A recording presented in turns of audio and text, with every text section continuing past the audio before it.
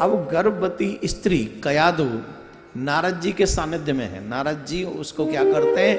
रोज भगवान की कथा सुनाते हैं। आईपैड नहीं चलाते आईफोन नहीं चलाते। आजकल की गर्भवती माताएँ बहन टीवी देखती हैं। डॉक्टर परमानेंट कहते हैं, बेड रेस्ट है। अब बेड रेस्ट है तो रसोई में भी नहीं जाना है।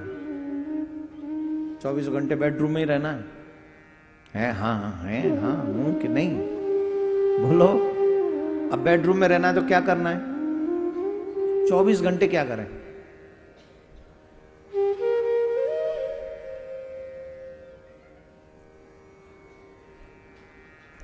कभी ये फ़िल्म देखनी, कभी ये फ़िल्म देखनी, कभी ये सीरियल देखना, कभी ये सीरियल देखना।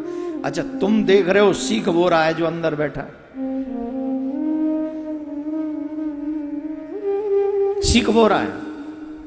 चौबीस घंटे मोबाइल मोबाइल लेके तुम चलाते रहते हो। सीख वो रहा है। अच्छा एक बात बताओ। आजकल रोते हुए बच्चे को मोबाइल पकड़ा दो, चुप होता है कि नहीं? ये माँ की करतूतों का फल है। बच्चा रो रहा है। मोबाइल पकड़ा दो, हैप्पी। अरे, इस मोबाइल में तू क्या जाने भाई? दो दिन का बच्चा पैदा हुआ है अभी तू। मोबाइल से घुस है, क्योंकि उसने सुना ही है घर में।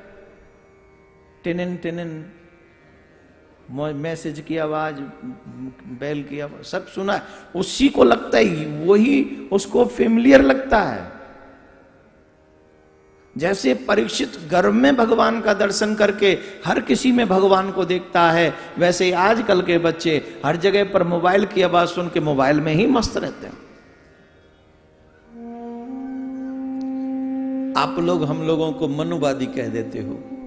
और हम आपके या हम जैसे लोग संत महात्मा कथाकार आपके कल्याण की चर्चा करते हैं और आप सुखी तब हो सकते हैं जब संतान अच्छी आपके घर में हो। अगर नालायक संतान आपके घर में तो आप हैप्पी नहीं रह सकते।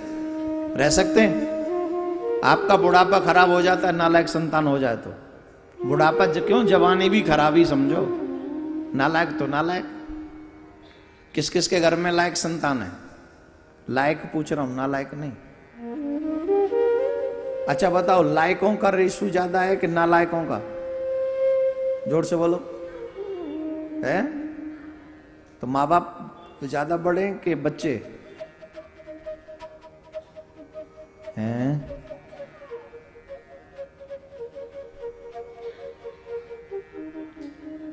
आपके बच्चे लायक बने, उसी के लिए ज़रूरी है आप नौ महीने जितनी भी माताएँ हैं या जो भी बाप बनने की तैयारी करते हैं, नौ महीने आपकी तपस्या आपके घर में लायक पुत्र और पुत्री को लेके आएगी। नौ महीने की तपस्या।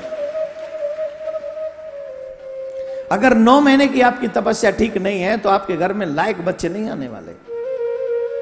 नौ महीने माँ को भी तपस्या करनी चाहिए नौ महीने पिता को तपस्या। अब वो पिता बोल रहे हो हमको क्या तपस्या करनी है? तुझे अपनी गर्भवती स्त्री के आगे अब शब्द नहीं बोलने गाली नहीं देनी है फाइट नहीं करनी है, चौबीस घंटा सांप बन के फुंकारते ही नहीं रहना है।